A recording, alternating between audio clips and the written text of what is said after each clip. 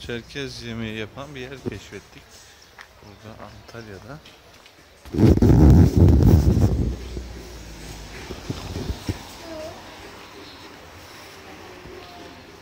M mantı tavsiye ediyoruz.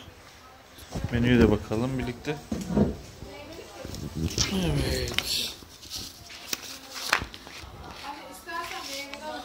Çeşitli mantılar var.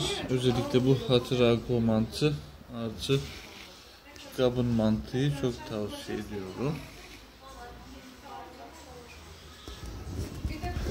Adresini de altta görebilirsiniz. Hoşçakalın.